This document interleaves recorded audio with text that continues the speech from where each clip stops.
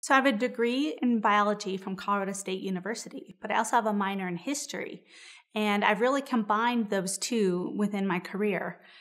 I always was more of a language arts person, and it was challenging for me to be able to get a degree in biology, but it's something I really wanted to do because I realized I really had a passion for learning about the life sciences. I did my degree in, in zoology, and in England, um, when you've done your, your bachelor's, you go straight on to do a PhD normally.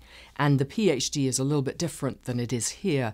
It's really more like an apprenticeship, so you find someone who will take you under their wing and teach you how to do research. And then I went for a um, postdoctoral uh, fellowship in the Netherlands. I went to law school. I then had a career both at the district attorney's office as well as private practice.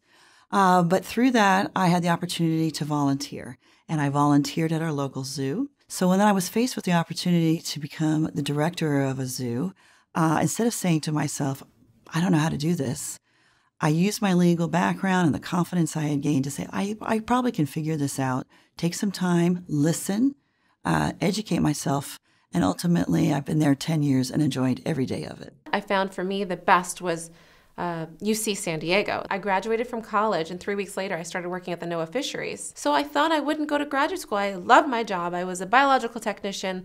I was going out to sea. I was doing one oceanographic research cruises. Very cool. And then a few years later, I was a high level technician. I loved that job. And I got to write a science proposal with my boss, a scientific article that got published. And I was I felt on top of the world. I third author on a paper. I was like, this is amazing. And I said to my boss, I said, this is what I want to do. I want to do this more. Let's write another proposal. I have some ideas. And he said, oh, no, no, no, no. I'm glad that you liked that process. That's really important.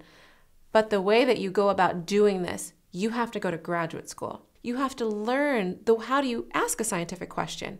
You have to know what is feasible how do you design experiments? How do you, these are the things you have to learn in school.